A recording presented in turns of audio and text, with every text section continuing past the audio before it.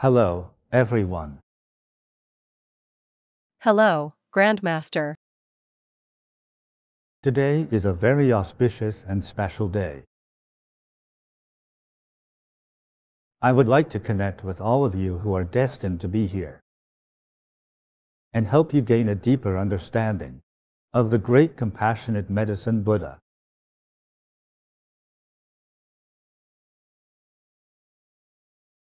I believe that after listening, you will develop a very warm understanding of Medicine Buddha.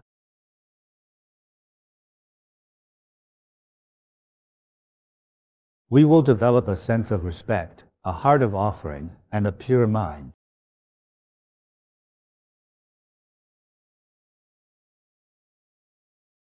In the Buddhist scriptures, it is recorded that before attaining enlightenment, Medicine Buddha was just like any other sentient being, practicing and wishing to make a vow. He envisioned a very bright and beautiful future for himself. Once, after a long period of preparation and deep contemplation, Medicine Buddha made a series of the most sacred and great vows. These are the 12 great vows of Medicine Buddha. I have summarized these 12 great vows into four categories. He is deeply concerned about us humans.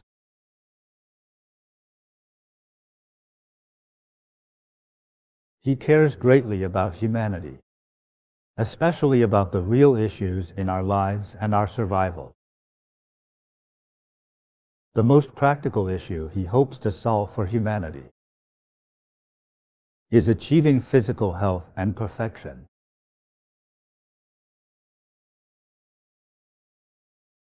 He wants to help people who have various disabilities,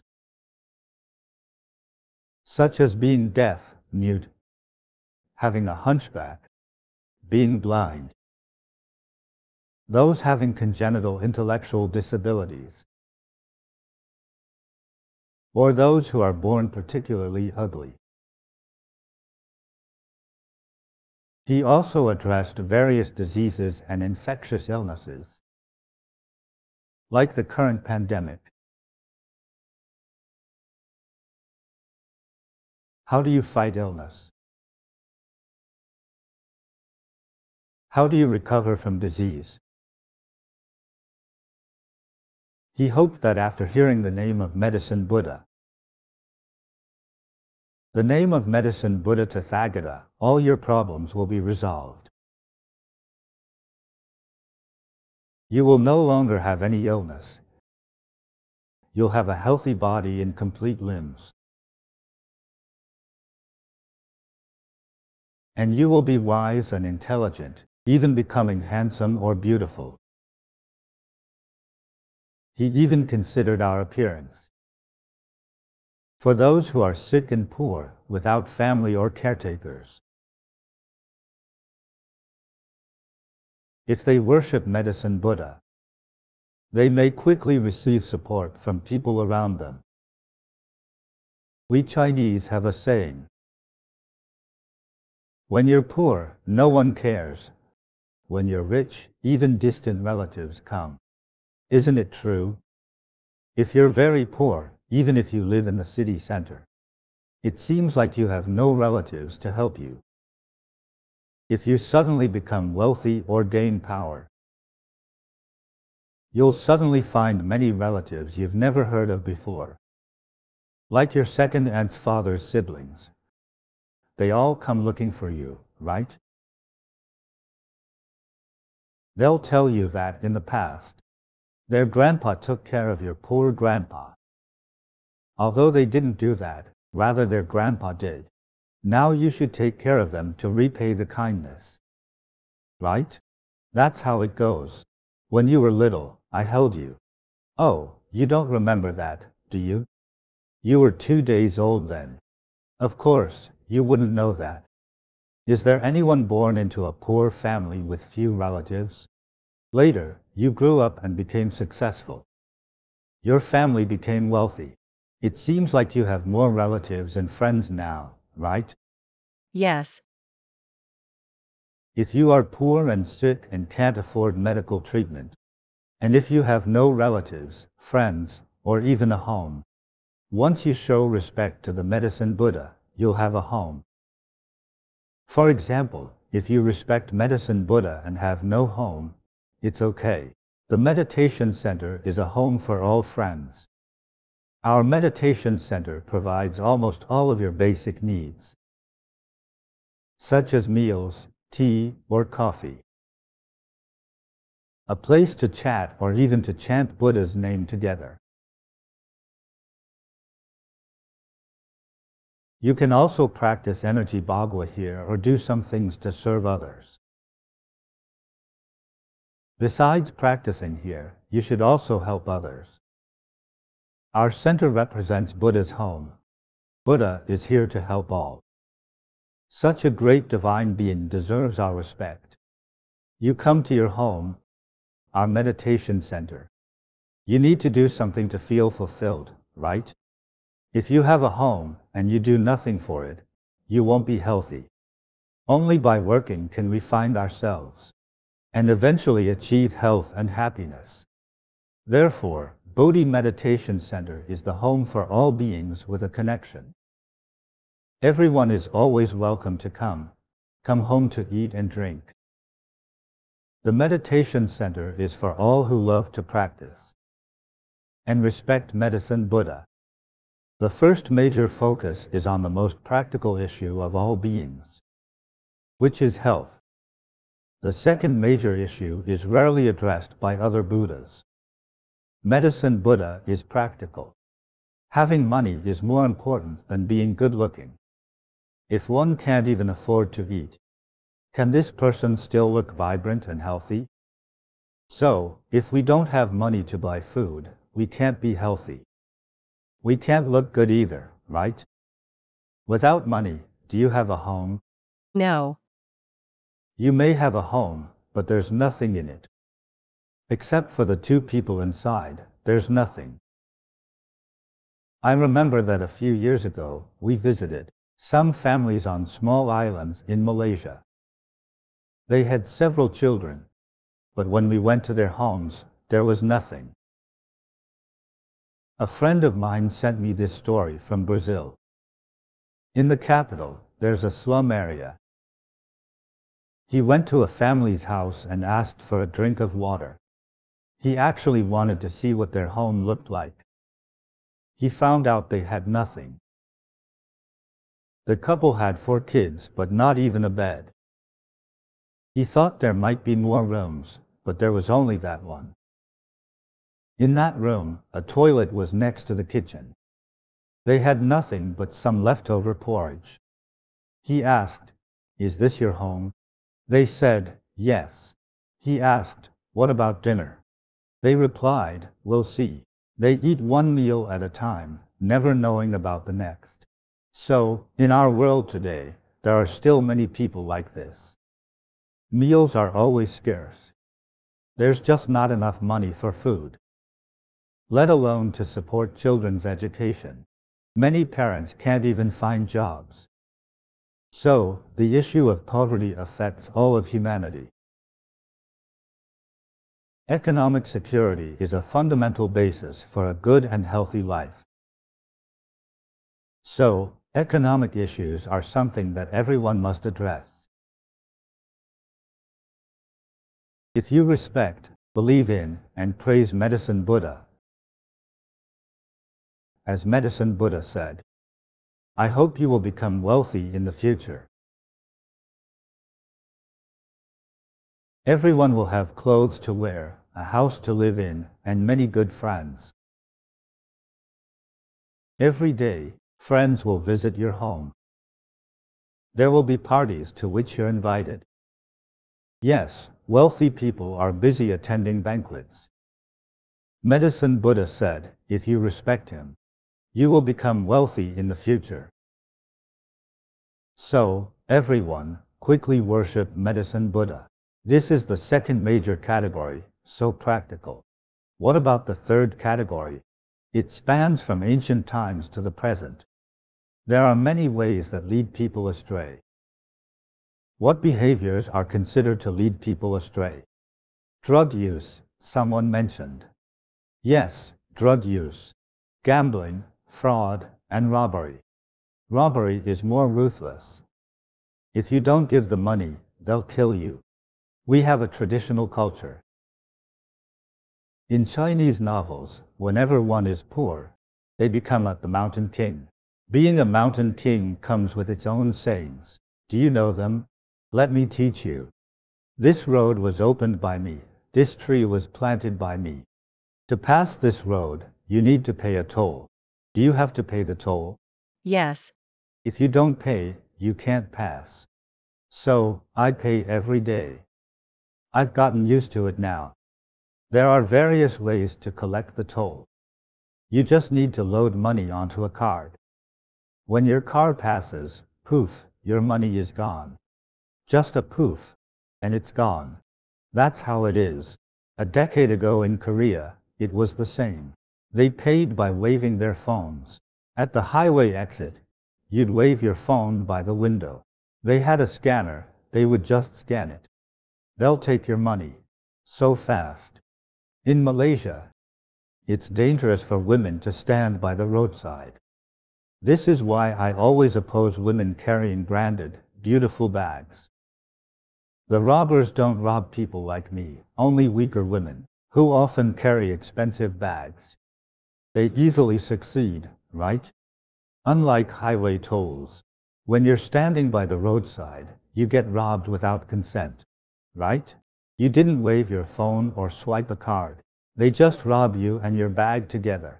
The scariest part is when they snatch the bag. They pull you down. You may hit the back of your head. Usually, it won't kill you, but it will cripple you.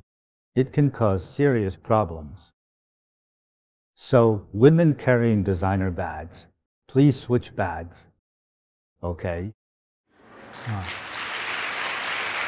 Hmm. From ancient times to now, many industries have led people astray. Some clearly lead people astray, while others do so subtly. Many mothers come to me, saying, Master, my son plays games all day, without sleeping or brushing his teeth. He skipped school just to play games. He's going astray. Master, how can I correct him? Do you think just playing games all day is going astray? Yes, kids are losing money while playing games. Not gambling games, but regular ones. Although the game brings you joy, playing it every day for long hours wastes your time. Kids are going on the wrong path. Two hours would be too much. Playing a little as entertainment to refresh your mind and mood is fine. But don't play too much, also, Avoid games with gambling elements. Even if it's not gambling, limit your time. Why does mom say you're on the wrong path? You'll ruin your studies, career, and health. That's also going down the wrong path. Friends think, what else is the wrong path? Insulting, slandering, and using harsh words. Doing these things is also going astray. What does this lead to? it leads to harm. Right? I insult you, truly insult and slander you. It causes distress. Many assaults, even murders, start with slander and insults. You scold me, I might be able to tolerate it. You insult my mother, I hit you. You insult my grandmother, I will kill you. That's how the conflict begins. Buddha spoke even deeper because this is about the spiritual world. For example, if someone goes astray, I must correct them. Earlier, we mentioned murder, arson, robbery, theft, fraud, drug abuse, and so on. These are more obvious. In the spiritual world, everyone has some kinds of distorted views. What are they? They are the five poisons of life. Greed, anger, ignorance, arrogance, and doubt. Greed, you can't see it. But what does greed lead to? We can't list all the examples.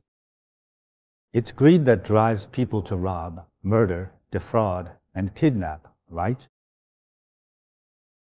Beating an innocent person, snatching bags on the street, even breaking into homes to steal money. These are all due to greed.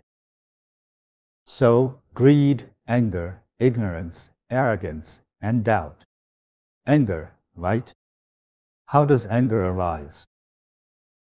You insult me, I get angry. What else fuels my anger? Is it just because you insulted me? Or is there more?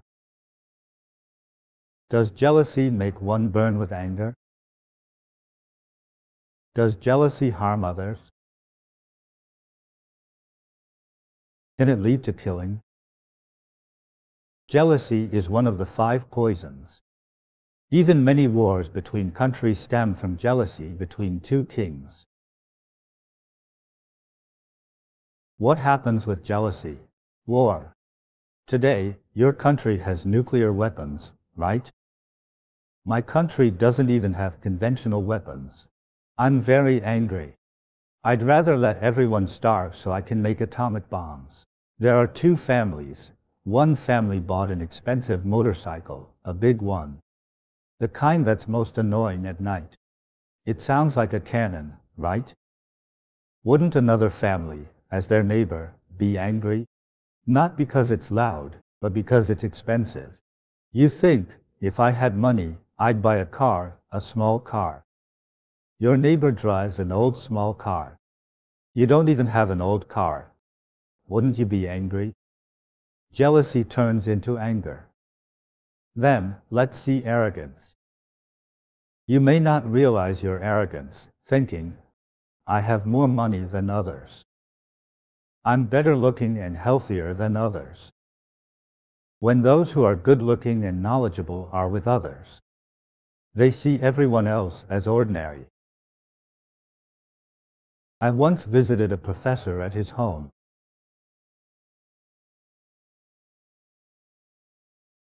He said, Master, you're here. This is the tea I don't serve to ordinary people. I asked, What tea? I've aged this Pu'er tea for two and a half years just for you. I said, The shortest time I've aged mine is seven and a half years. He exclaimed, Yours is better. He said, Ordinary people don't know Pu'er tea. I said, Professor, so who are you? Then I guess I can be considered a commoner, he said. At least, that's how he felt. He is falling into arrogance again. He's usually very nice to people. When his neighbor got rich, he stayed the same, wearing clothes from over a decade ago. I'm like this, not envious of others at all. He's knowledgeable, so he's content inside. He doesn't care about common people when they buy cars, houses, and so on. He doesn't care at all. But does he make mistakes? Has he made any mistakes? He made a mistake just now, calling others commoners. Look at us, the uncommon people. We all drink tea that's at least two and a half years old. You're too inferior. Those who sell tea are like immortals. Arrogance is thinking you're knowledgeable. One should be a noble person. So you see evil means taking a wrong or crooked path, while it can also be wrong views and wrong perceptions. When one's level is insufficient, one naturally deviates. Buddha said he would help correct us. As long as you respectfully praise and worship Medicine Buddha, you will return from all wrong paths and views to the most correct path of right knowledge and right views. This is very important. This mental state actually truly determines the height of our lives and our happiness. This spiritual realm is more important than physical health. This is the third major gift from the Buddha. The fourth one is actually quite easy to explain. The Buddha has a great wish. He said that no matter what work you are doing, whether you are educated or cultured, no matter how troubled and painful your life is, I hope and am willing to help you. In the future, you can all become enlightened like me. You can all achieve perfect merit and become Buddhas. This is the most noble and touching wish of the Buddha. If only you worship and believe in Medicine Buddha, he'll help and guide you in the future, leading you to achieve true perfect merit and Buddhahood.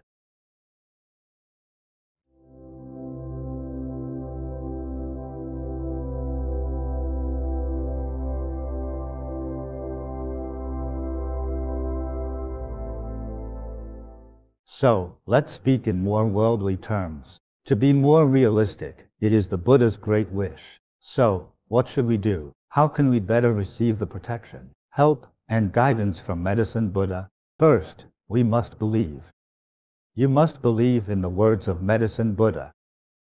Otherwise, you won't proceed. Next, you need to study and connect with him, to make offerings to and serve him. If you don't believe, you won't take the next steps. You won't offer to Medicine Buddha if you don't believe in his words. So you must believe. Only then can you proceed to offering and devotion. Offering means taking action. Secondly, what do we offer? In Southeast Asia, even a small flower, a piece of fruit, or a bowl of rice is an offering.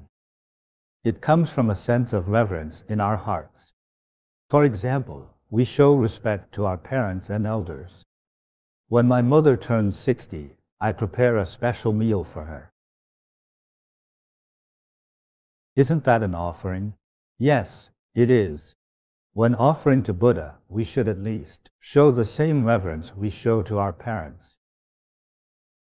Yes, if you have faith, you should make offerings, including offering to the statues of the Buddha, images of medicine Buddha, and the scriptures of medicine Buddha.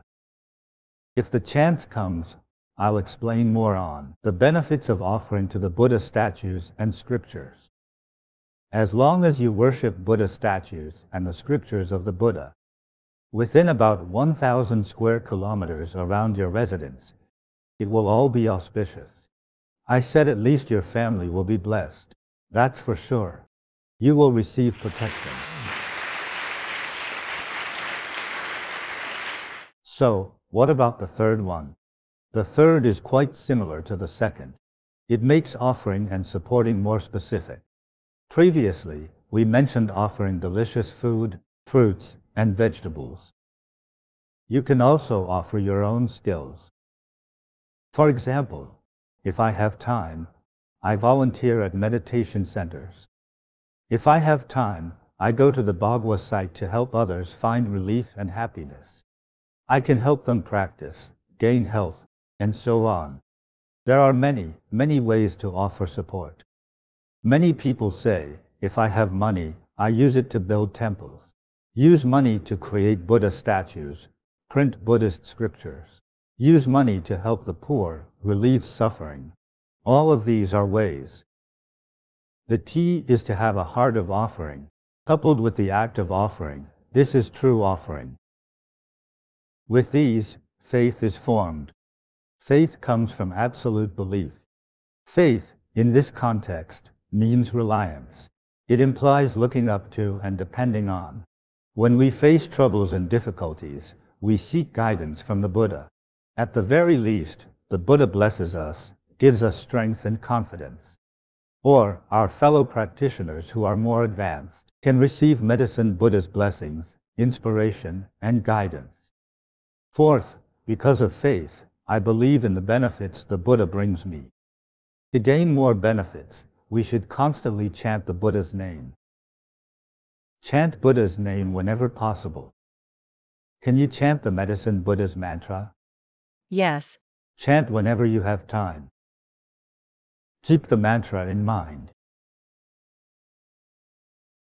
When something happens, whether good or bad, or when something inauspicious is about to occur. First, Medicine Buddha will give us a warning. You will receive an inspiration. Secondly, it can help us avert disasters. For example, in your life, at this age, this year is your zodiac year. Something might happen, let's assume, like a minor traffic accident. if your intention is weak and if your respect is not enough, due to the respect you do have, the bad thing will still happen. However, the harm will be much reduced. Even if you're not sincere enough, you will receive protection. Usually, a major disaster becomes minor, and a minor disaster becomes negligible. The event happens, but no one gets hurt.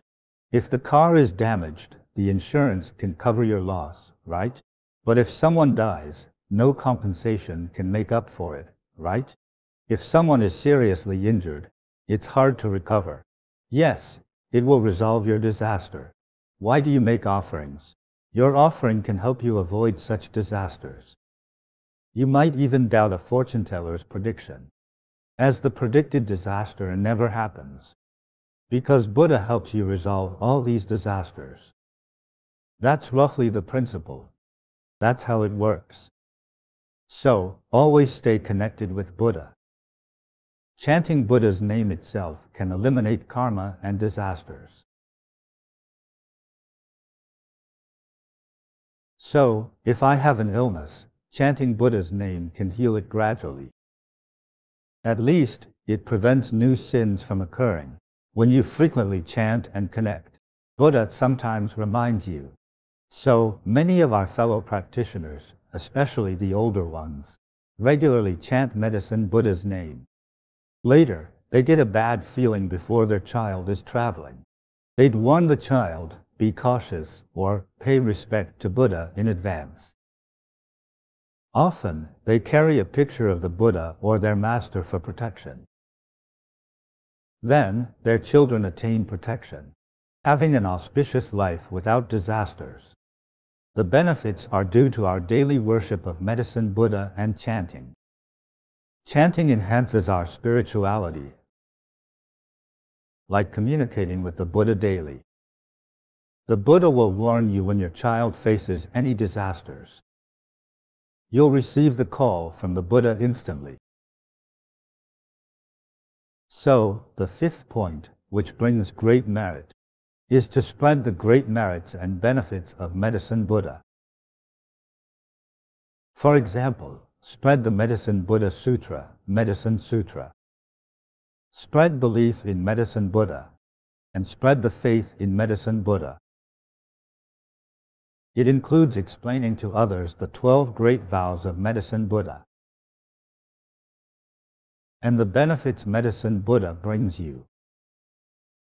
When you spread this knowledge, you are practicing the bodhisattva path and helping others. Thus, the merit is immense. It can help patients recover quickly and make your endeavors blessed and successful. Therefore, spreading Dharma earns the greatest merit among all merits. So I encourage everyone to spread it more and chant more.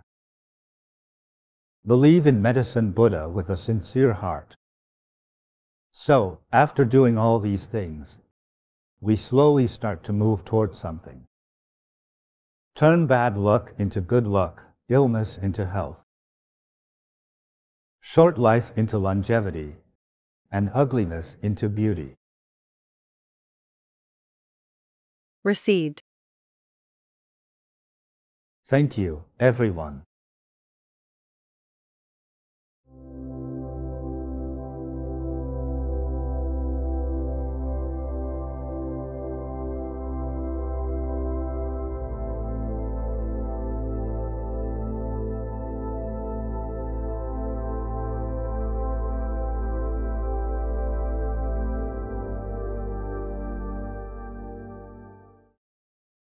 All right, next, Let's chant Buddha's name with utmost reverence and sincerity.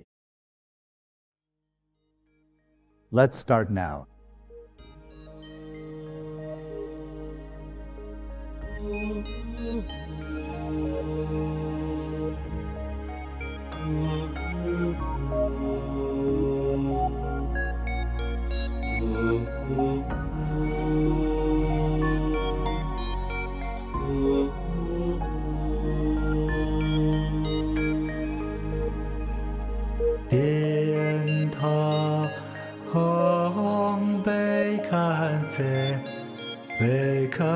泽哈贝堪泽，朗达萨摩嘎对索哈，天堂贝堪泽，贝堪泽。贝堪则，朗扎萨木，卡堆索哈，喋他嗡贝堪则，贝堪则，玛哈贝堪则。扎萨嬷，嘎堆索哈，天他昂贝堪则，贝堪则，玛哈贝看见，朗扎萨嬷。对索哈，莲塔哈贝堪则，贝堪则，玛哈贝堪则，扎萨摩，嘎德索。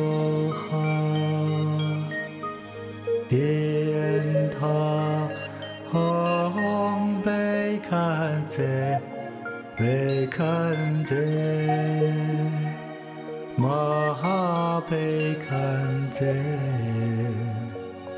朗扎萨摩，卡堆索哈，迪安塔，嗡堪则，贝堪则，玛哈贝堪则。达萨摩，卡德索哈，迪恩塔昂贝堪则，贝堪则，玛哈贝堪则，朗达萨摩。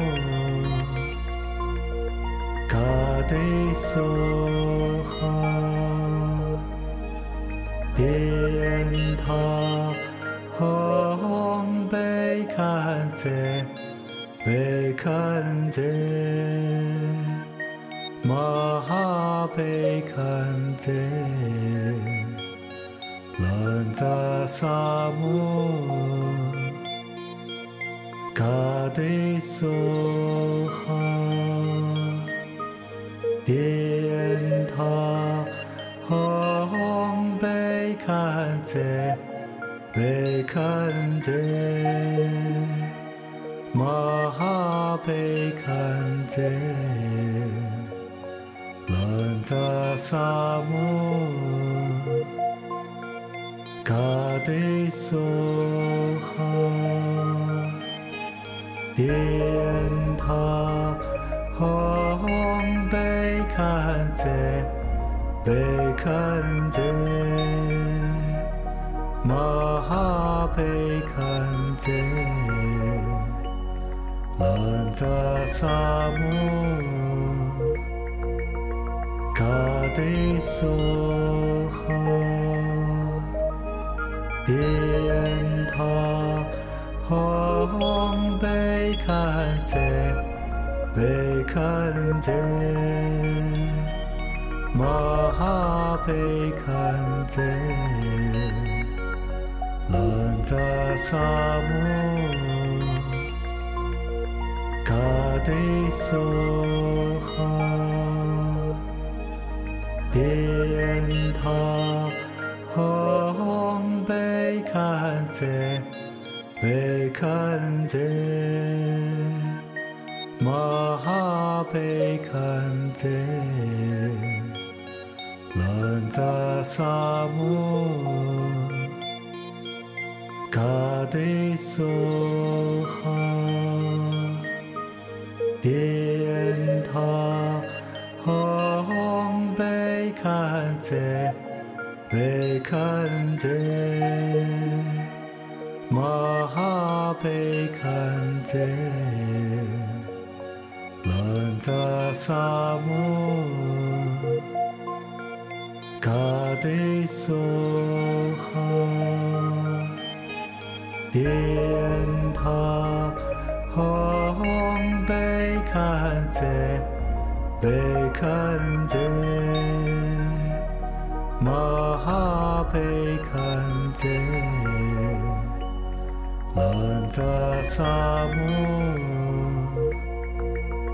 嘎堆梭哈，点塔啊。看见，被看见，马玛看见，堪扎萨木，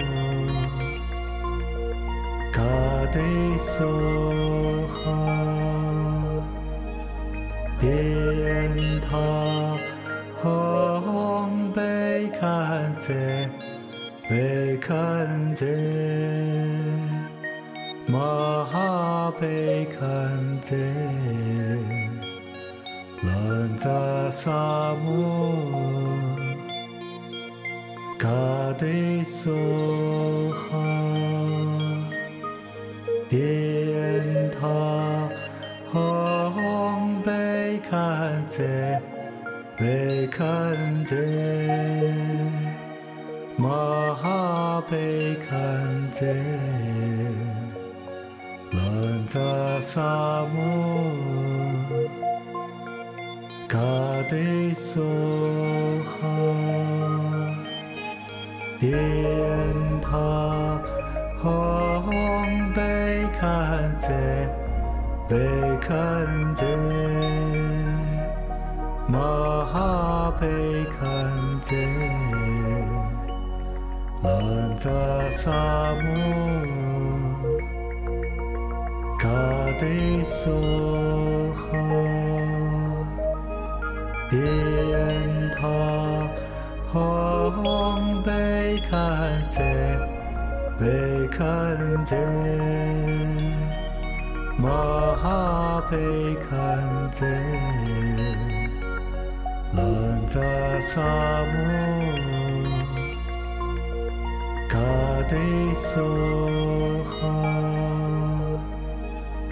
殿堂，贝堪则，贝堪则，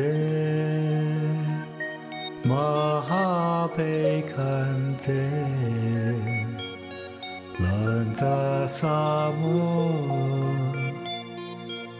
噶得哈，殿堂。被看则，玛哈贝堪则，隆扎萨摩，嘎堆索哈，喋他哈被看则，被看则。玛哈贝堪则，扎萨漠，卡堆索哈，天恩他，哈贝堪则，贝堪则，玛哈扎萨磨，嘎堆索哈，莲塔昂贝堪则，贝堪则，玛哈贝堪则，朗扎萨磨。嘎得嗦哈，天塔昂贝堪则，贝堪则，玛哈贝堪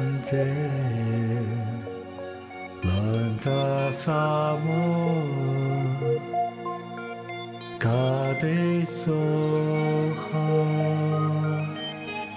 殿塔哈贝堪则贝堪则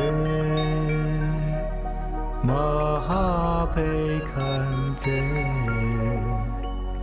南达萨摩嘎对哈殿塔哈。看堪被看堪则，玛哈被看则，朗扎萨摩，嘎帝梭哈，遍塔吽贝堪贝堪则，玛哈贝堪则，朗萨摩加得索哈，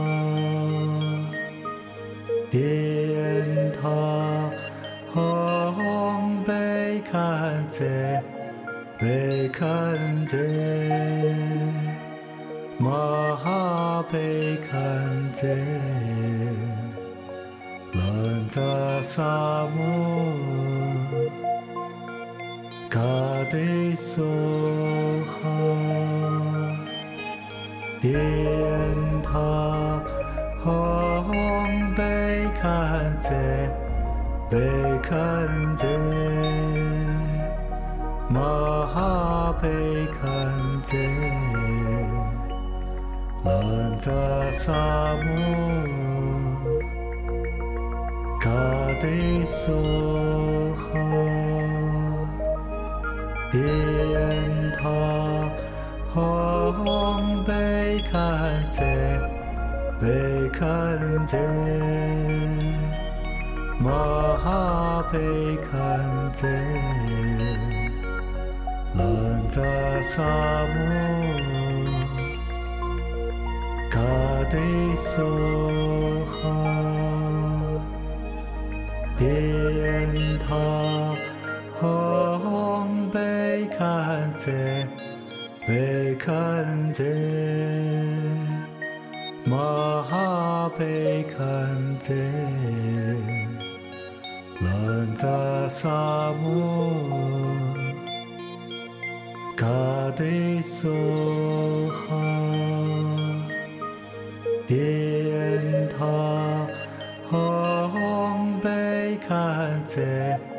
贝堪则，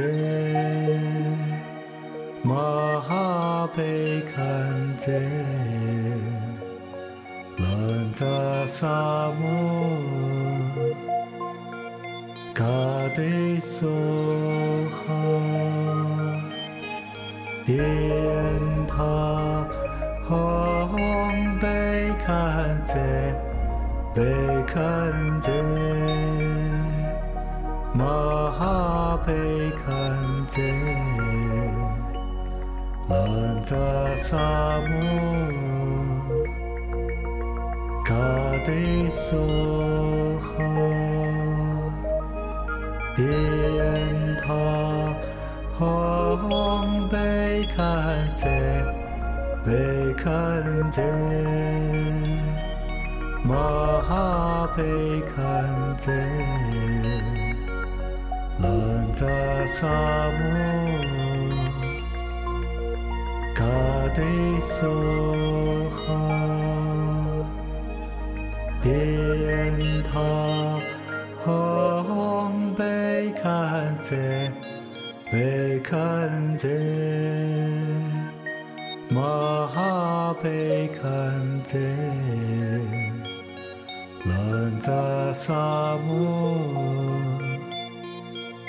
嘎得梭哈，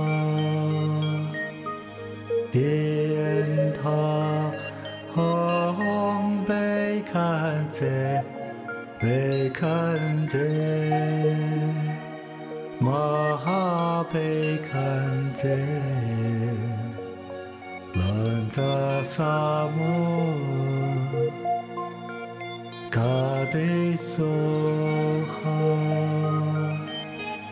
殿塔哈贝堪则贝堪则玛哈贝堪则南达萨摩嘎帝娑哈殿塔哈。看见，被看见，马玛看见，堪则，朗扎萨摩，嘎堆索哈，天他嗡贝堪则，贝堪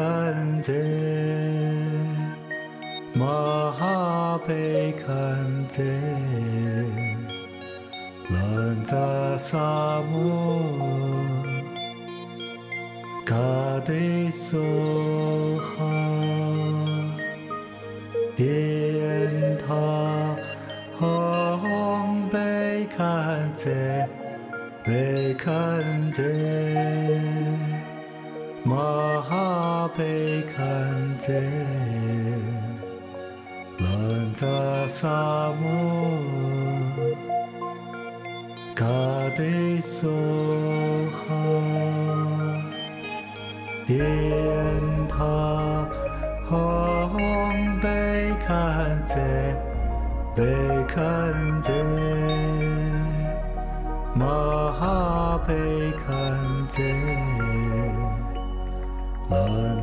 萨摩，嘎堆索哈，帝塔，阿呗堪则，呗堪则，玛哈呗堪则，朗扎萨摩。对嗦哈，点塔哈，贝看则，贝看则，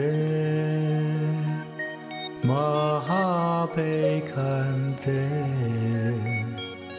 南扎萨摩，地嗦。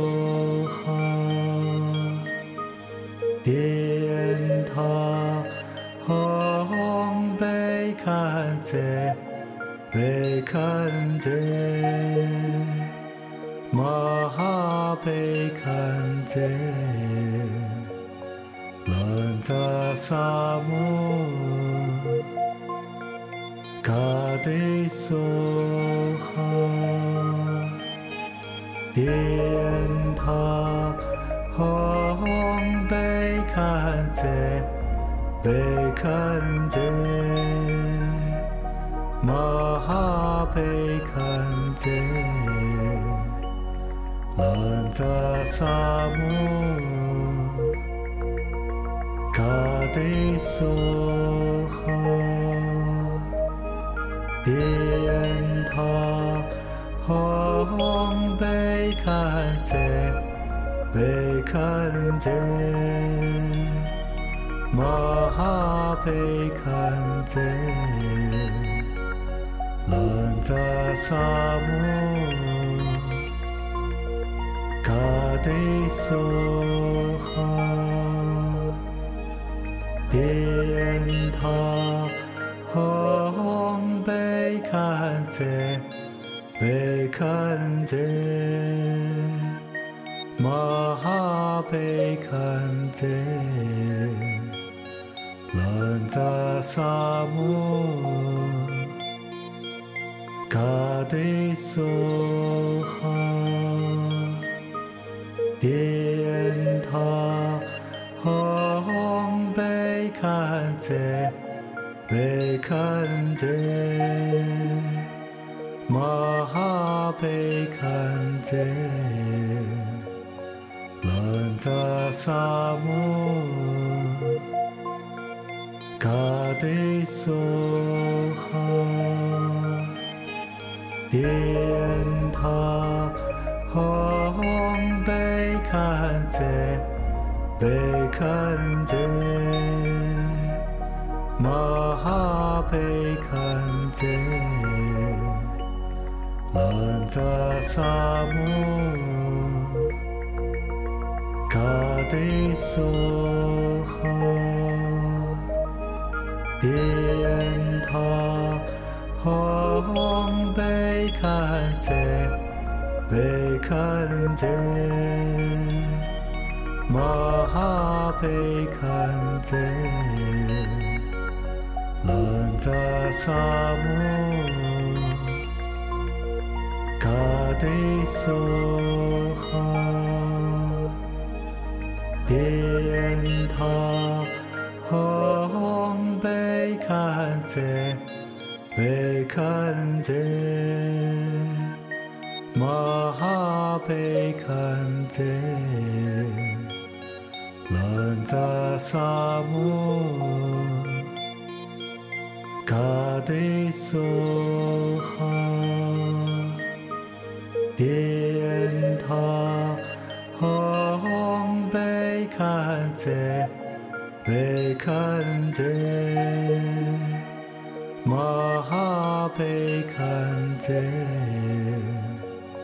南达萨摩。卡对嗦哈，电塔昂贝堪则贝堪则，玛哈贝堪则，南扎萨摩卡对嗦。殿堂贝堪则贝堪则玛哈贝堪则南达萨摩卡地梭哈殿堂。看堪则，看堪马玛哈贝堪则，朗扎萨摩，卡堆索哈，喋他昂贝堪则，贝堪玛哈贝堪则，朗扎萨摩，嘎堆索哈，迪恩塔哈贝堪则，贝堪则，玛哈贝堪则。南无萨母诃帝娑诃，帝唵他唵贝堪则贝堪则玛哈贝堪则，南无萨嘎得嗦哈，遍塔嗡被看见，被看见，玛哈贝堪则，扎萨摩，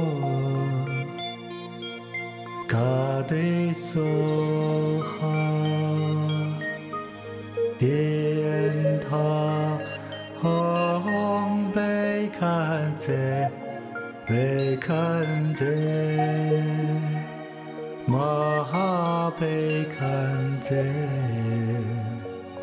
南无萨母嘎帝娑哈，喋他吽呗堪者呗堪者，玛哈呗扎萨陌，嘎得嗦哈，天堂贝堪则，贝堪则，玛哈贝堪则，朗扎萨陌。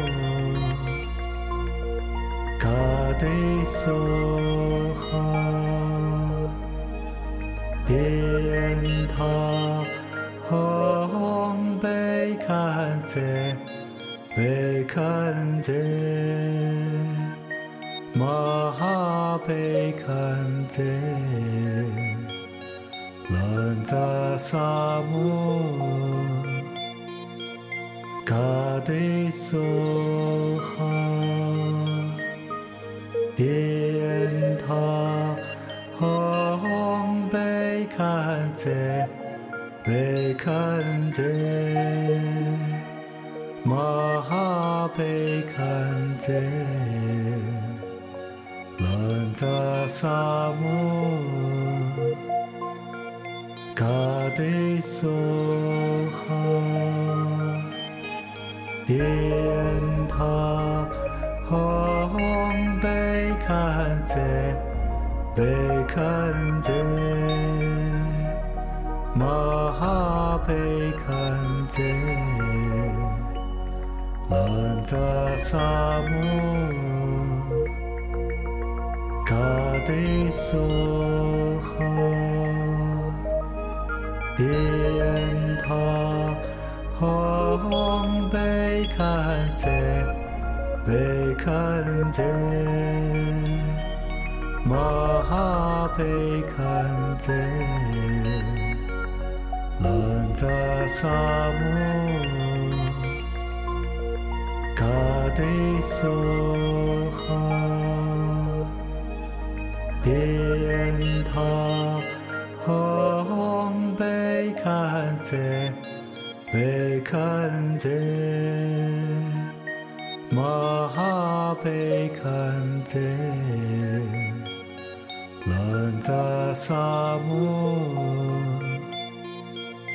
卡德索哈，喋塔哈贝堪则，贝堪则，玛哈贝堪则，朗扎萨摩，卡德索。点塔，嗡被看见，被看见，玛哈贝堪则，南达萨摩，嘎堆哈，点塔。嗡贝堪则贝看则马哈贝堪则，朗扎萨摩嘎堆哈，天堂嗡贝看见。贝堪则，玛哈贝堪则，朗扎萨摩，嘎得索哈，叠他昂贝堪则，贝堪则。玛哈贝堪则，朗扎萨摩，嘎德索哈，迪恩塔，哈贝堪则，贝堪则，玛哈贝堪则。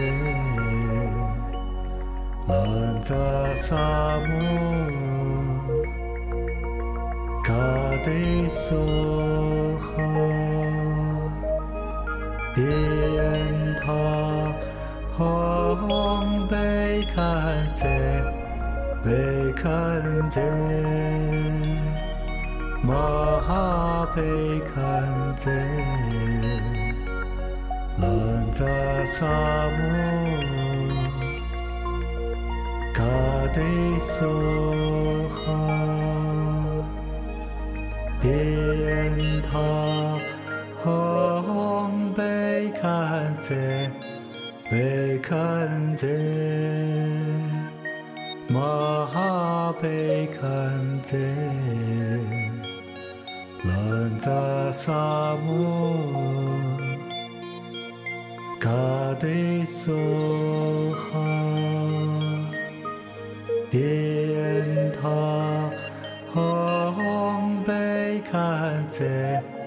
贝堪则，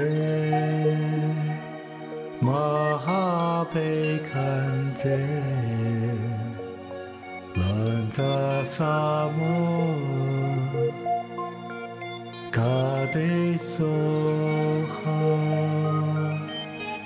贝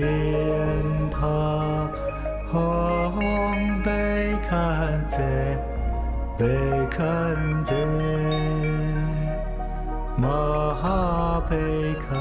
南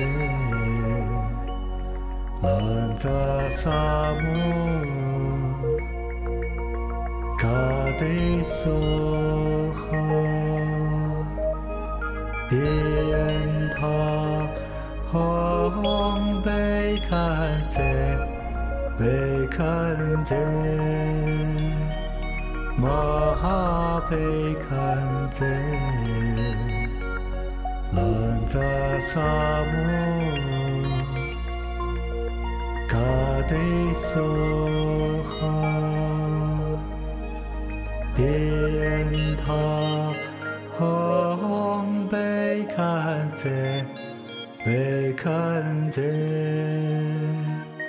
玛哈贝扎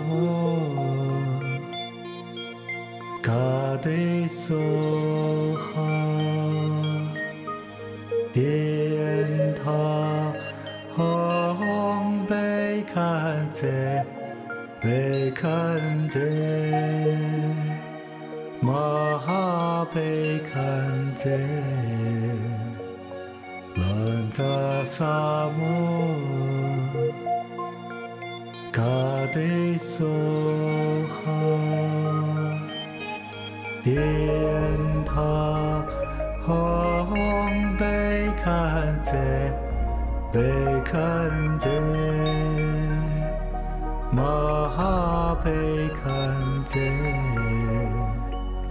南扎萨木嘎堆索哈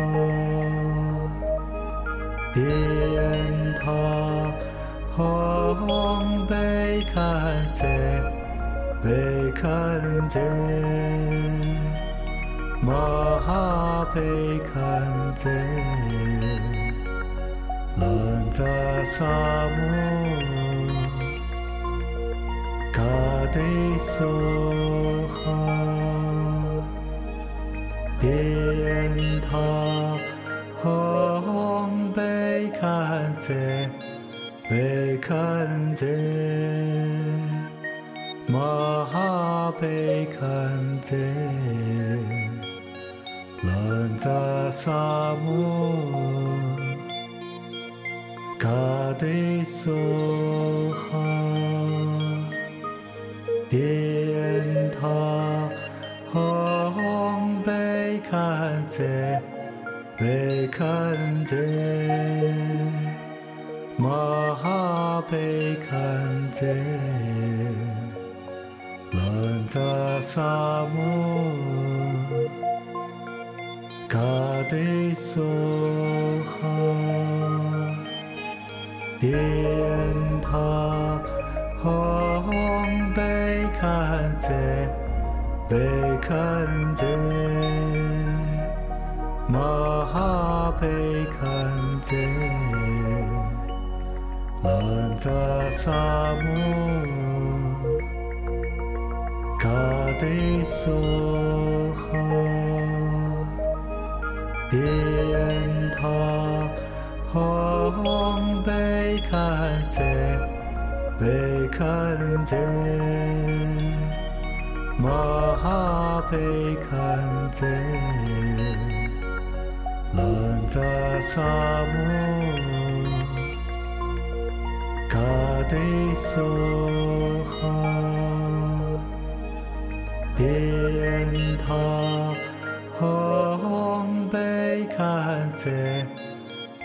看见，玛哈贝堪则，朗扎萨摩加德索哈，天塔昂贝堪则，贝堪则，哈。被看见，乱扎沙漠，噶得索哈，天他嗡贝堪则，被看见，马哈看见。南无萨母诃帝娑诃，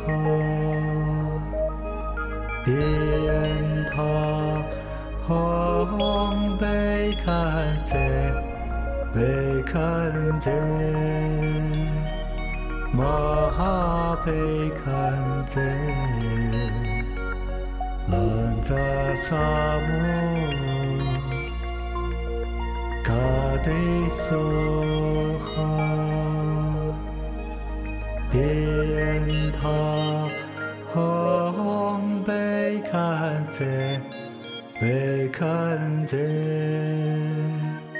玛哈贝堪则，南扎萨摩，卡对梭哈。塔，堂，贝堪则，贝堪则，玛哈贝堪则，朗达萨摩，噶得索哈，殿堂。见，被看见，马贝看见，拉扎萨木，卡迪梭哈，迪恩他，哈贝堪贝堪则，玛哈贝堪则，朗达萨摩，嘎得梭哈，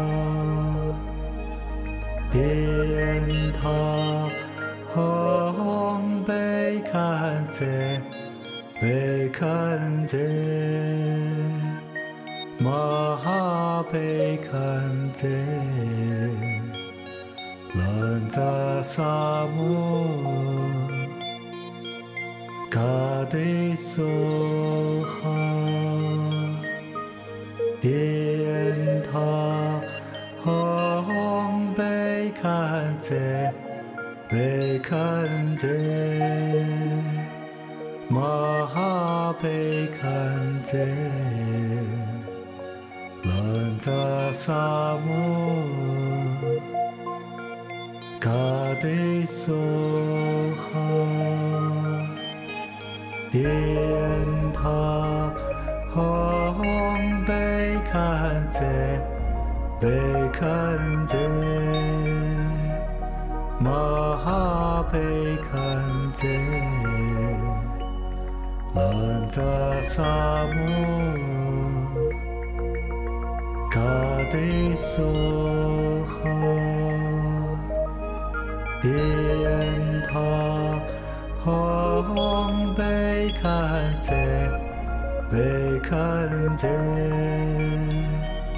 玛哈贝堪则，扎萨摩，嘎得嗦哈。哈，贝堪则，贝堪则，玛哈贝堪则，南扎萨木，卡的松。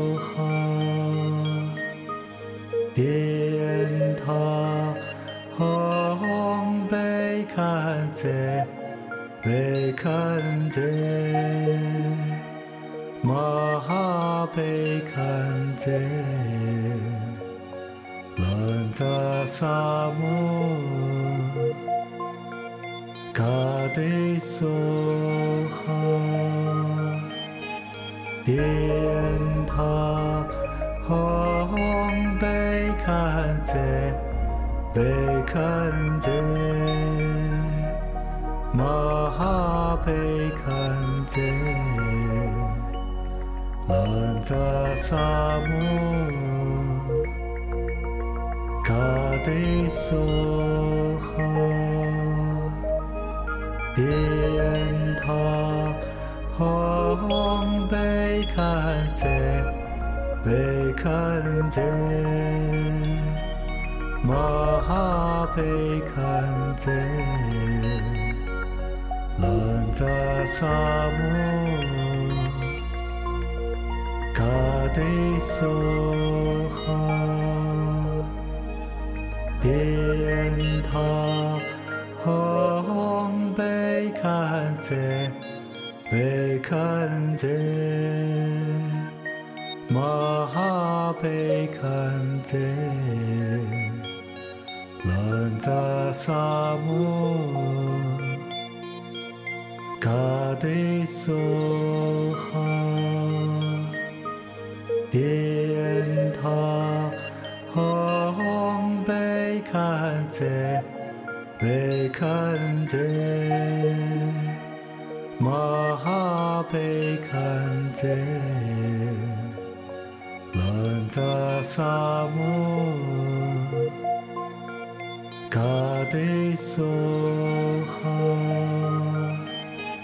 殿塔哈贝堪则贝堪则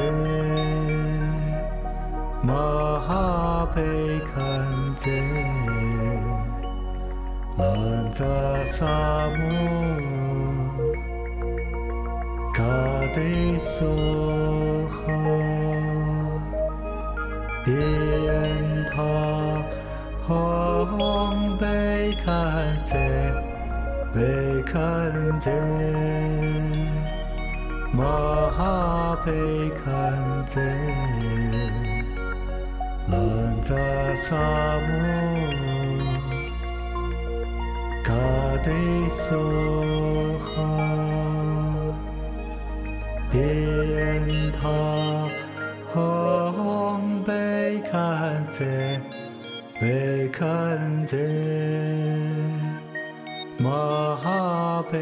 看见，飒哆沙漠，藐三菩哈，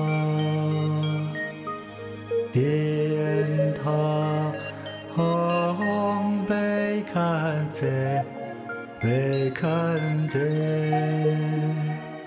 玛哈贝堪则。萨萨摩，加对座哈，天堂红贝堪则贝堪则，玛哈贝堪则，朗扎萨摩。嘎得嗦哈，蝶塔昂贝堪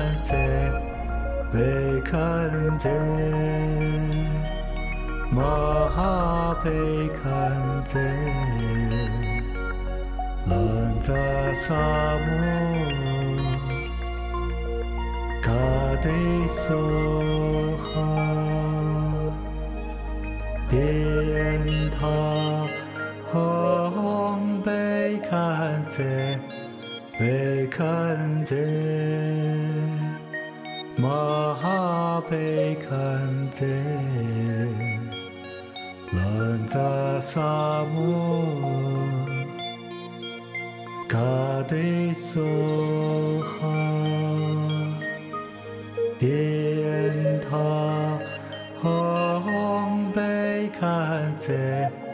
贝堪则玛哈贝堪则，朗达萨摩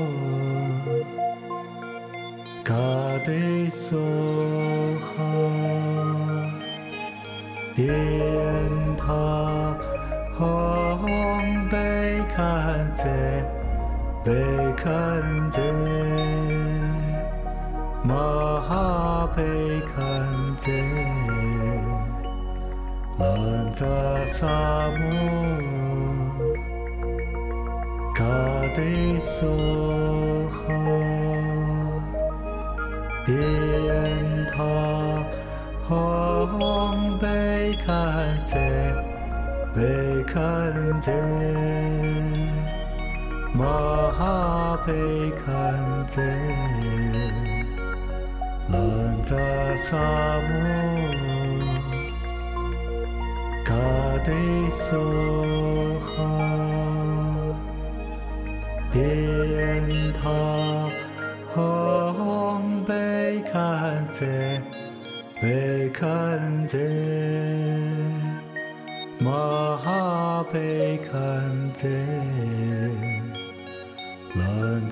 萨摩。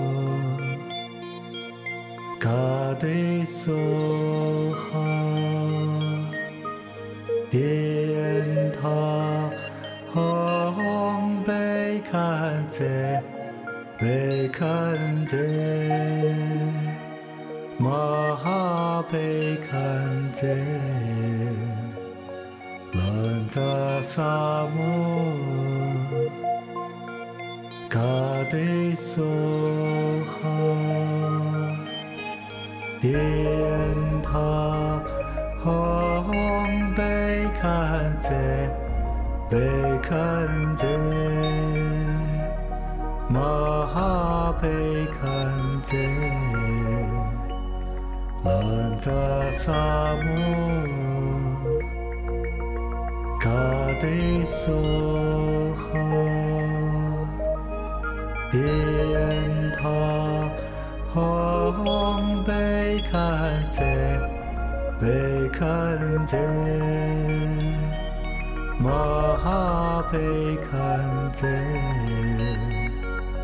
朗扎萨摩，嘎堆索哈，垫他，哦贝堪则，贝堪则。嘛哈贝堪则，南扎萨木，卡堆索哈，喋他，哈贝堪则，贝堪则，嘛哈贝堪则。萨萨摩，加对索哈，天堂红贝堪则贝堪则，玛哈贝堪则，南扎萨摩。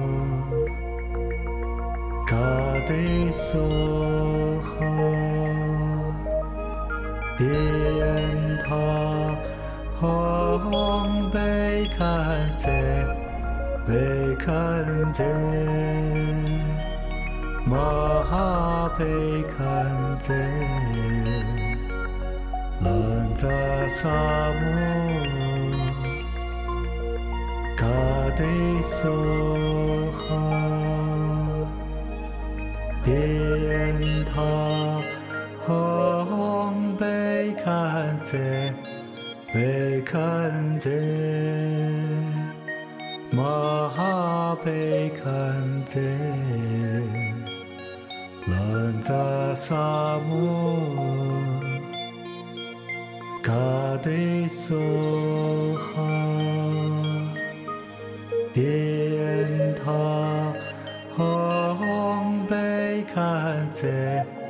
贝堪则，玛哈贝堪则，朗达萨摩，嘎得索哈，天他啊贝堪则，贝堪则。玛哈贝堪则，拉扎萨木，卡对索哈，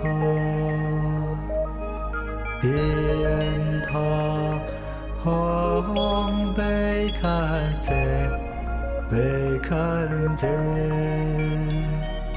玛哈南无萨母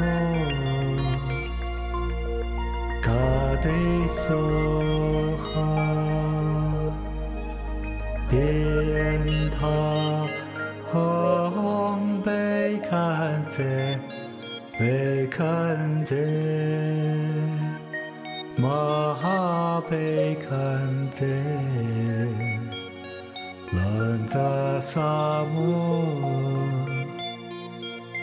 嘎得梭哈，喋塔嗡贝堪则贝堪则，玛哈贝堪则，朗扎萨摩，噶梭哈。殿塔哈贝堪则贝堪则玛哈贝堪则拉杂萨摩卡对梭哈殿塔哈贝。贝堪则，贝堪则，玛哈贝堪则，南嘉萨木，卡堆索哈，贝恩他，昂贝被堪则，玛哈看堪则，扎萨摩，卡得索。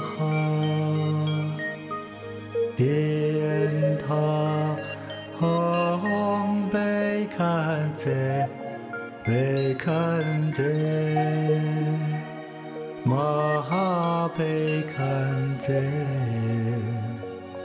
朗扎萨摩，噶得索哈，喋他嗡贝堪则，贝堪则，玛哈贝堪则。萨萨摩，嘎堆索哈，颠他哄贝堪则贝堪则，玛哈贝堪则，南扎萨摩。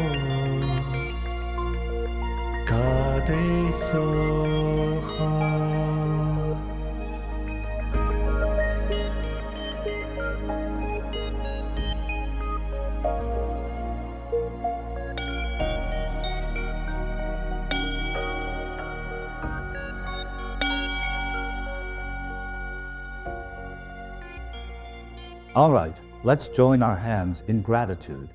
Be grateful to the compassionate medicine Buddha who rescues us from suffering, extends our lives, dispels disasters, and eliminates all illnesses and evils. May everyone's wishes come true. Received. I wish you happiness and joy. Received. Also, health and longevity. Received. Also, great wealth. Received. Thank you, Grandmaster. A story of making and fulfilling a vow. Qu Sanjiang's son. In Shandong, there was a family whose head was Qu Sanjiang. He was an ordinary farmer. Although life was fairly decent, Qu Sanjiang always had a regret in his heart. His wife had given birth to six daughters in 10 years, but never a son. In the countryside, the preference for sons over daughters was deeply ingrained. To continue the family line, he and his wife had been trying for 10 years, but to no avail. As they grew older, Qu's hair turned white with worry. When their youngest daughter turned one, the couple once again had the idea of having a son. They were recommended to visit the temple in the neighboring county, known for realizing wishes.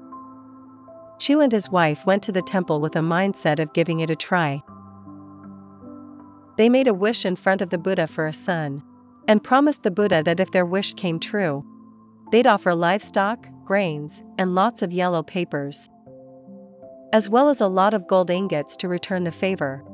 Three months later, a miracle really happened. Qu's wife became pregnant again and successfully gave birth to a big, healthy boy. The couple wept with joy. The boy was named Qu Fu Chang which means a prosperous and fortunate life. However, Qu did not fulfill his promise to return the favor. The main reason was the high cost of the offerings required. Also, he was skeptical to begin with, thinking that everything was just a coincidence. As time passed, he totally forgot about it. Everything seemed to be going well. Then, when his son turned three, he fell ill with a high fever that wouldn't subside. He was on the brink of death. After recovering, he suffered a boiling water burn. Then, he broke an arm in a fall. A series of unfortunate events left everyone deeply worried. One day, a wandering Taoist priest came to the village. Upon seeing Qu, he sighed and said, Oh humans, but not heaven and then winter came. While playing, the boy accidentally fell into a pond and drowned. As a result, Qu lost his only son. Devastated, he never recovered from the grief. Until one day, he met an old Taoist priest. There, he was told that he was actually fated to have no son. Because of his sincerity, heaven showed mercy and granted him a son but because he never repaid his debt to heaven, his son had been recalled by heaven. This story teaches us to never make debts you cannot repay, especially to heaven. Otherwise, your blessings could be taken away from you. Your lack of blessings is not because of petty gods, but your fate. When you're blessed with something but never repaid your debt, your blessings can be taken away from you. Doesn't that sound reasonable? For example, you are a low income person. Your monthly salary is only $500. You made a wish in front of the bodhisattvas for a raise. You need a raise because $500 is not enough. You wish for your boss to like you more and for improvement in your work performance. You wish for an increased income, and you promise to build a golden bodhisattva statue or donate to a temple if such need arises. Say, your wish comes true, and three months later, your salary is raised to $3,500. Coincidentally, the temple needs to expand its hall, so the visitors don't have to stand under the hot sun or rain.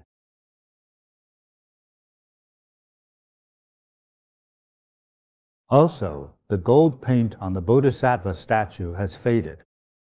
Repainting costs money. You've got what you wished for. Should you repay the favor? I personally believe you should. Sometimes it's not the bodhisattvas who help you directly. It could be the work of the guardian deities. If you don't repay the favor, there's an impact.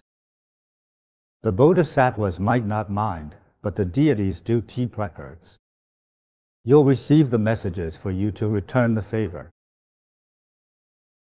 The bodhisattvas and the deities could appear in your dreams to remind you. If you keep playing dumb, your wealth could be taken away from you. How? Heaven has its own ways. If you've earned $200,000 in the past six months, the deities will take it all at once with interest. That's $350,000. That will be your medical fee for your, say, leg surgery. You might lose your job too. You'll be poorer than when your monthly salary was only $500. You're lucky you still have your life. Because what you owe is money, not life. You lose your job, no job, no money. That's what you get for disrespecting the deities. This is very fair. You might think otherwise, but from what I've seen, I'd say. If you ask for a favor, you need to return it. For your safety, please do this. The old Taoist priest made it very clear. Qu was fated to have no son due to the karma and merits from his past life. Having six daughters is already good. How did he get one then? He asked for a favor, right? Moved by his utmost sincerity, the deities decided to help. After that, he was really blessed with a son. When he got what he wished for, he changed his mind. Maybe the offerings were not cheap. So he decided to forget about it. Perhaps the deities had forgotten about it too. Then, unfortunate events began to happen. In the end, the boy, still very young, passed away. It's quite pitiful. Do the gods hear our wishes? Not returning the favor when your wishes have been fulfilled, is that acceptable? When you promise something, someone hears this. When a man says, I love you to a woman, it's a promise too. It is. Usually, people ask, Do you love me? That's wanting something in return. You know, Will you still love me when I get old? Or will you still love me if I can't walk? You see, when people hold weddings in churches, the pastor or the witness would ask questions such as, Do you take this woman to be your wife, to live together in matrimony, to love her in sickness and in health, forsaking all others, for as long as you both shall live, some people just say, I do, without thinking much. Why ask this? Because everyone goes through birth, aging, sickness, and death. Yes, death is final, but can you handle your sick partner? Can you handle it when he soils the bed? You can't afford to hire a nurse every day. You can't afford professional care. Can you take care of your bedridden partner? Most people can't when that happens. When a question gets philosophical, it becomes a difficult question to answer. When you love someone, do you only love them when you see them at their best? What if you marry them and they fall sick the next month? Your partner will keep wetting the bed, not for days or weeks, but years. There'll be a lot of cleaning for you to do. Are you really okay with that? Many would leave if things don't get better two months later. That's the reality. Treat your vows with maturity. Sometimes it's not illness that separates people. Some would leave their partner who has been jobless for a year. That's not illness. Say, you ride a bike and have no car, while all your friends have their own fancy cars.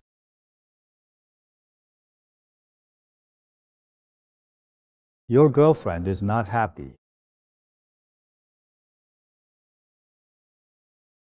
She prefers to be in a car when the weather's bad. She doesn't tell anyone about this. Her parents keep telling her to break up with you.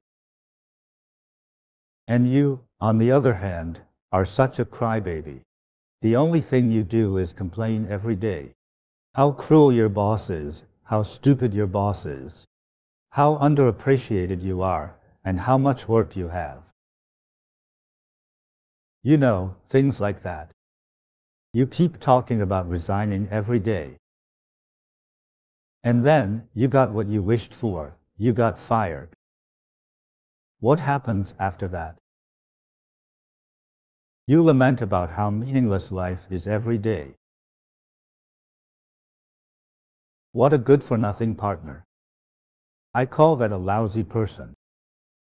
I think if the woman doesn't like you very much, she'll dump you, and I'm sure about that. Now, let's not talk about romantic relationships, but parenting. A mother tells her 10 year old child that. If he makes it within the top 45 out of 50 in his class, he gets a reward. In the past, the child always ranked last. He worked hard and ranked 40th. The mother has to fulfill her promise. Maybe she could buy her child a used phone. A promise is a promise, right? If the mother broke her promise, would it upset the child? That's a 10 year old child. What if her child is older, say, between 18 and 25? That's an adult, mature enough to talk back, run away, and even hit people. What would happen if the mother broke her promise? Say, there's a new phone model. The mother says if the boy behaves well, no online gambling, no smoking, no doing drugs, etc. He'll get the new model as his new phone. The boy indeed behaved well, but the mother broke her promise. How would the boy react? The child will have a breakdown. It might be worse than she could imagine. People whom you made promises to expect you to fulfill them. In Buddhism, people take refuge in a certain master when they're seriously troubled. For example, losing their job, diagnosed with cancer, possessed by evil, etc. Some would make promises such as if their problems are resolved.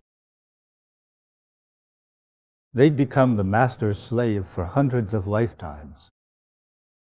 If they survive a certain disaster, they'll give all their money to the school, expand the temple, promote the Master's teachings, and build a golden statue of the Master so that everyone may worship him. When people desperately need help, sometimes they voice their wishes. Sometimes they don't voice them. After their wishes are fulfilled, many forget to pay back. Some even go as far as to slander the temple or master, calling them fakes and frauds. Do you know what the result of this is? for not fulfilling your promises, and slandering, as well as defaming the temples and monks. First, you will be banished to hell in the future. Second, all the blessings given to you will be taken back.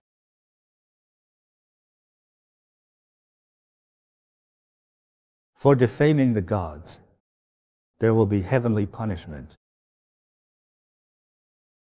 You will gain bad karma, what kind of disasters await you? Nobody knows. In this story, Old Qu lost his son. Inauspicious things will happen. If you made a promise, you must fulfill it. The gods and those whom you made promises to expect you to fulfill them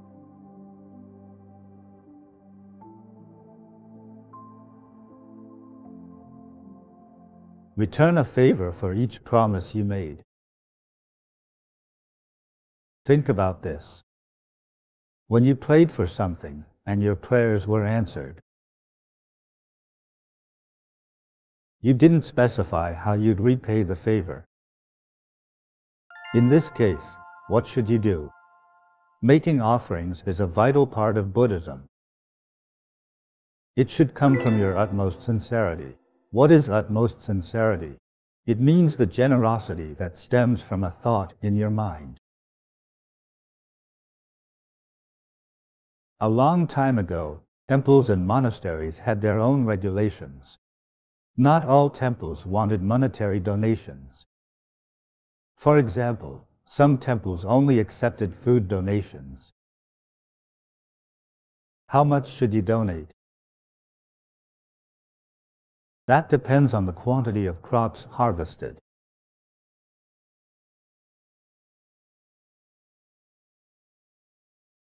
With luck, farmers were able to harvest more. In that case, most of them would offer more crops to their local temples. These temples, in times of disasters such as drought, where people had no food and were starving, would distribute food made from the crops they received. This is the way of most ancient Buddhist temples. Let's assume there were some really generous, wealthy individuals. They received blessings and recovered from some fatal illness. Some were blessed with great wealth, lots of money in gold. What if someone brought a gold brick to a temple? and wanted to offer a golden Buddha statue made from it. Like I said, each temple has its own rules. The said donor might not get what he wanted. It depends on the temple's needs when making Buddha statues. The temple might have other ideas, maybe gilding or gold plating. Usually, the temples wouldn't build a statue out of gold entirely. Do you know why? It's risky. What if thieves came to steal it? A golden statue, even a small one, costs millions. Cheaper materials were usually used to make statues. Wood is one of the materials. Most statue bases are made of wood. The outer layers were cladded, not sculpted. Firstly, a layer of lacquer is applied on a piece of wood. Then it's cladded with burlap, with another layer of lacquer applied on it. Fresh lacquer is sticky like glue. That's how the burlap fabric gets stuck on in layers. Then, it's left in a room that is well ventilated, but doesn't get sunlight for 15 days. By then, it should be almost hardened. Once it's hardened, it's ready for painting in more burlap fabric. This is repeated until the body, facial features, fingers, ears, and hair are all formed. It's tough and sturdy. I have a piece from the Song dynasty in my collection. It's not completely intact, with some details missing, but the main structure is still quite good and well preserved. Apart from that, people also carve statues directly out of stone. After that, it is painted, gilded, or gold-plated. That's how it is. In terms of materials used, it's hard to tell by just looking.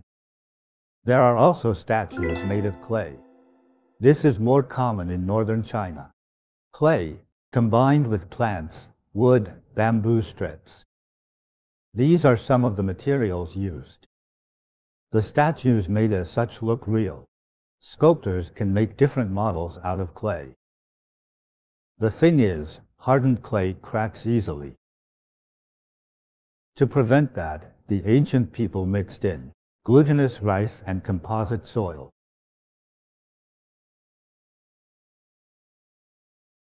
This would make the statues more durable.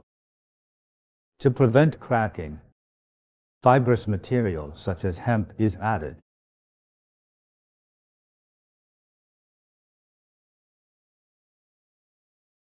Roughly, this is how statue making was done. Clay statues made as such, if they're not sabotaged or damaged, or not exposed to rain under a leaking roof, could last for 700 to 800 years. There's also the casting method, mostly using copper and iron. Copper was more common than iron, as the latter rusts easily. There was no stainless steel back then. Iron would oxidize in humid air, eroding and eventually decaying. That's why copper was picked over iron. High quality copper must be used. Pure copper casting doesn't easily produce copper rust. Then it's gilded. That's how Buddha statues last a long time. That's a little sharing about Buddha statues materials. For all givers, it doesn't matter what you offer be it food, money, or gold, things don't always go your way. If you donated a piece of gold, you cannot demand the temple build a statue out of it. Not like that. You don't get to decide just because you're generous. Maybe the temple prefers other kinds of statues, or maybe your money is used to buy food for hungry people. Can they do this? Of course. People need Buddha statues, but not as much as food. Buddha statues, or food for people, most of the great masters would prioritize the latter. All Buddhist institutions aim to benefit people. This is our responsibility. Every offering has its own value. All offerings should be used to help people first. Expansions and Buddha statues can wait. This is how we do it. How do we return favors? Say, your child successfully got into college. There are many ways to give back. If you can't donate too much money, consider offering your time and strength. You can go to any temple and volunteer. If you are a strong man, you can help with repairing or construction work at any temple. Or, some temples need strong guys to carry things around.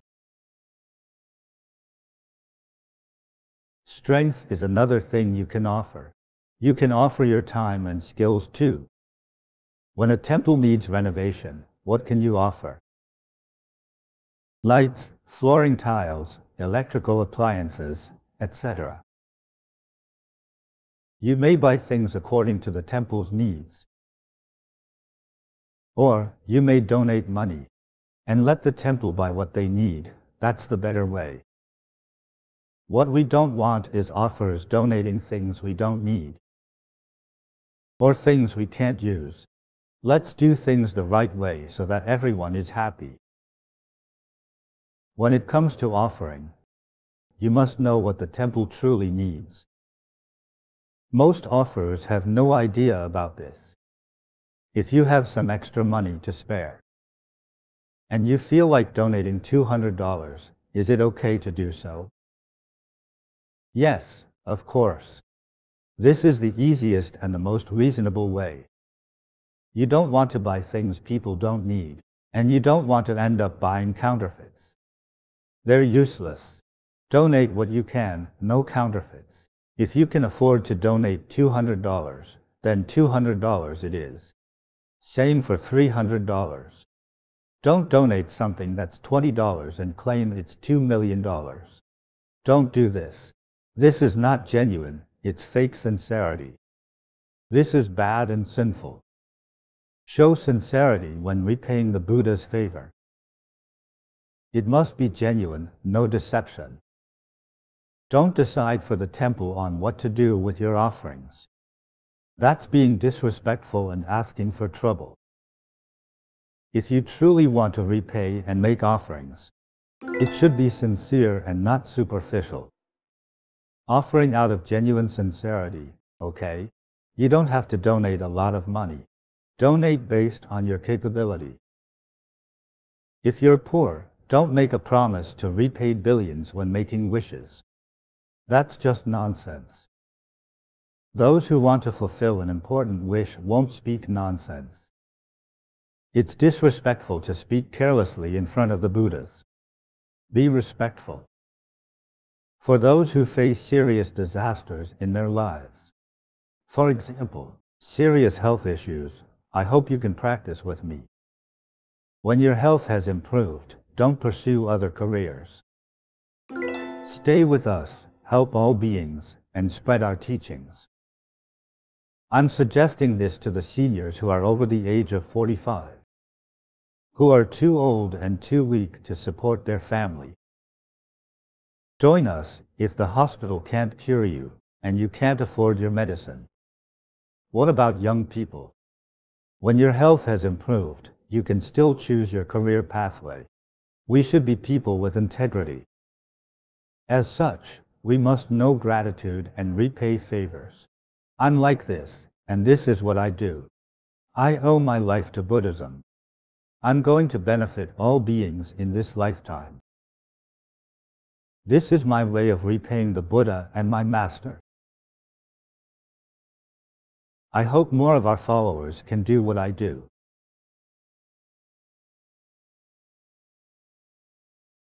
All right, I wish everyone health and longevity. Received. I wish you auspiciousness. Received. May your whole family be happy. Thank you, Grandmaster.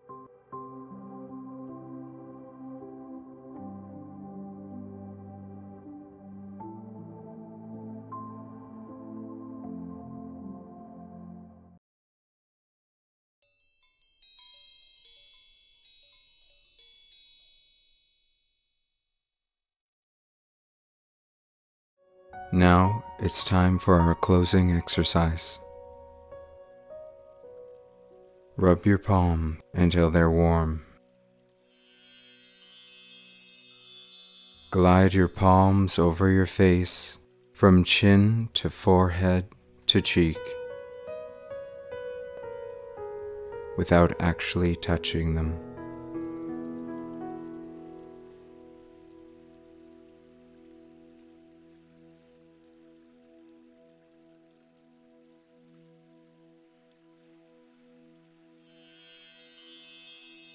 Rub your palms until they're warm.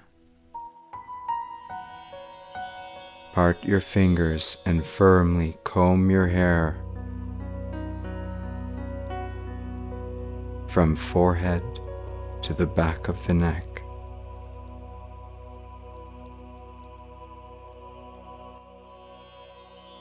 Rub your palms. Pat your entire body from top to bottom. Pat your head firmly with relaxed wrists. Do it calmly.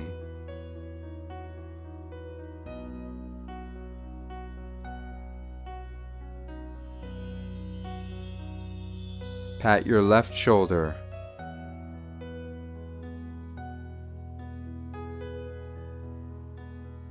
Then pat your right shoulder.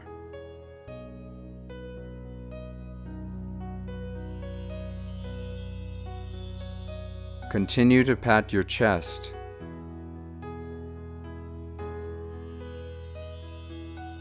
Then pat your left armpit down to the side of your rib cage.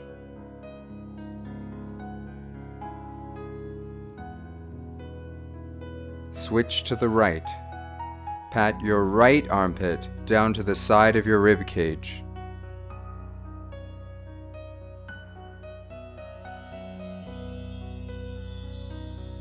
Next, pat your abdomen with relaxed hands. Please stand up slowly.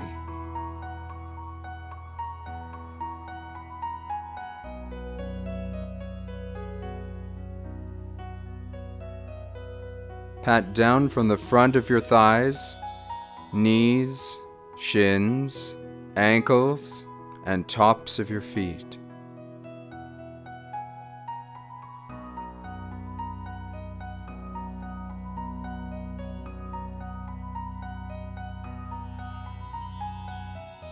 Gently pat the lower back. Down to the buttocks. Down to the back of your thighs.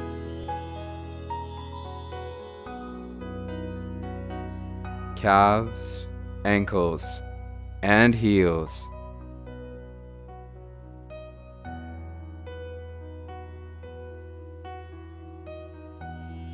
Continue to pat the inside and outside of your legs. Start with your left leg.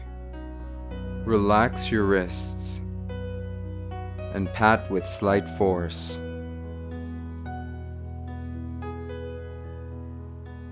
Then pat your right leg.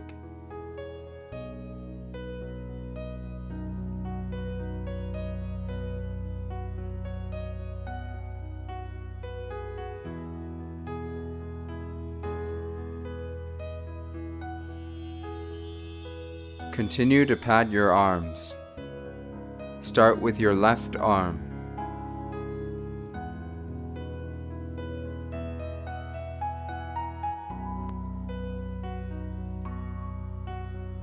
Then pat your right arm.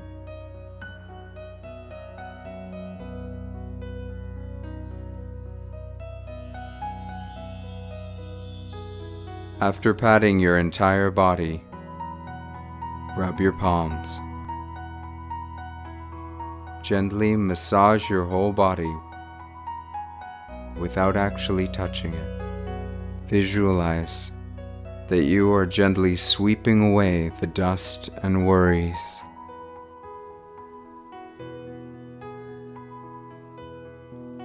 You are becoming healthy and happy.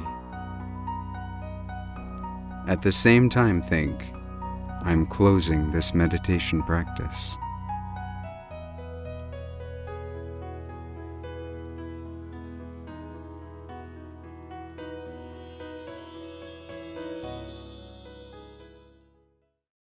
Today's class has successfully completed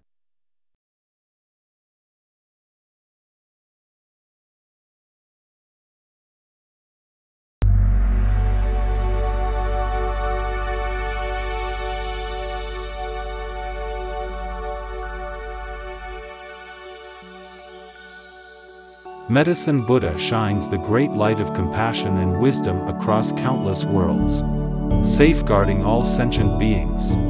Sincerely offering lights to Medicine Buddha invites his love and guidance, dispels harm and extends life, transforms misfortune, eliminates worries, and brings health and happiness.